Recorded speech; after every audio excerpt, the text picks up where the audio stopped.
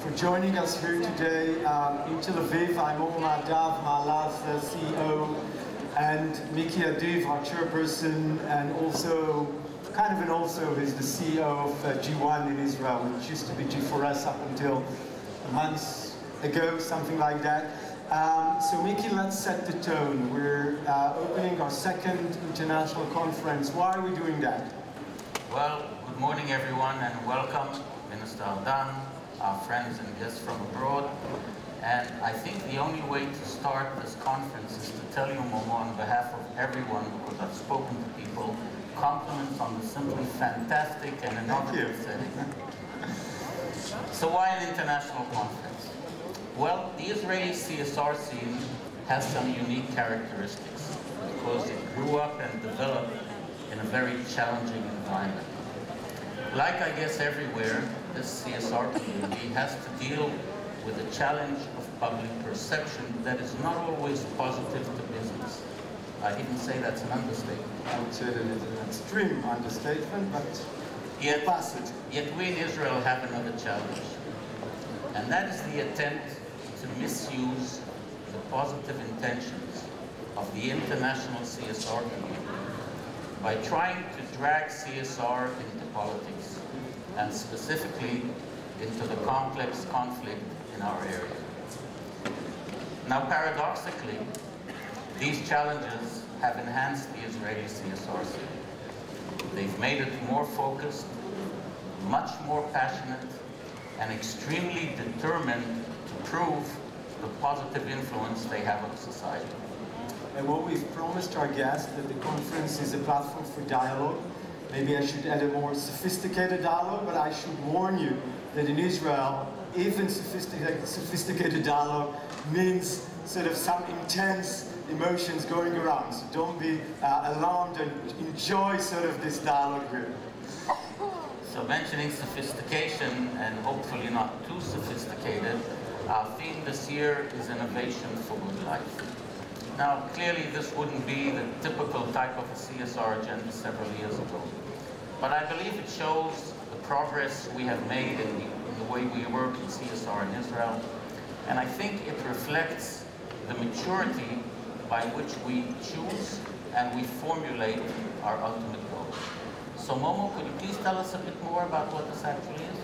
Uh, we're getting right into, I think, the core of what we're trying to build here.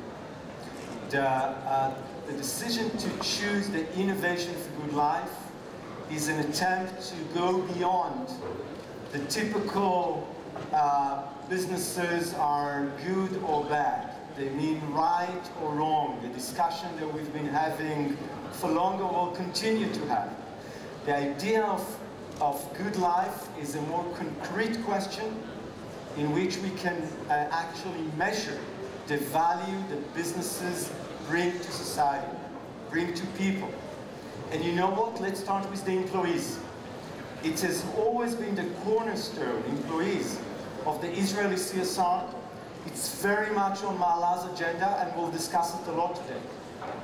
Another issue that's connected to that is the supply chain, procurement. And that's something that we have in the past two years have managed to uh, bring on board through the help of the large companies, uh, mid-sized companies to the CSR shift. And Micky, you were, you were and you are the advocate for that move. So where are we with that? Well, supply chain is a very tricky challenge because the way we procure actually defines cultural behavior. And this cultural behavior has a substantial influence on our quality of life. But we've taken supply chain a step further. We've harnessed it to enlarge our CSR community. And we have achieved that, as Momo mentioned, by asking the larger companies in Maala to encourage their mid-sized suppliers to join the Maala Index and to mentor them in the process. And for the first time, we have a track, designated track on procurement. That's supposed to be a bus, actually, so it's, it's something quite, uh, uh, uh, I would say, kind of nice. We didn't have that, I think, two years ago. And, and you will also, uh, you're also very invited to join us to a special event where Bank Leumi will honor its mid-sized suppliers who are now ranked in the Maala uh, mid-sized uh, CSR index. But as you can imagine, this is a very special uh, day for me and the Maala team. Uh, we've done some work in, in preparing that. Uh, but uh, to be again a bit more serious, I think the effort, which I hope that you'll appreciate, that we've tried to, to do here with the theme, is to go beyond uh, the CSR language, expecting everyone to speak the CSR language. I think what we will hope to see here today is how the values that we believe in, the CSR values, are actually embedded in the work of the small minority of people who are not CSR people throughout the companies and we'll have tracks on sales, on marketing, on customer care, on innovation, obviously, on procurement, on environment, in finance, and I hope I didn't forget anything else. And today is also a special day because we are launching two new CSR indexes in cooperation with the Tel Aviv Stock Exchange. And they will join the existing CSR index that we have and will create a very unique family of Maala CSR indexes. And to mark that, we'll have an opening bell ceremony with the Tel Aviv uh, Stock Exchange. But before that, uh, we're honored to have with us, with us uh, today Minister Erdan, Minister for uh, Strategic Affairs and Public Security.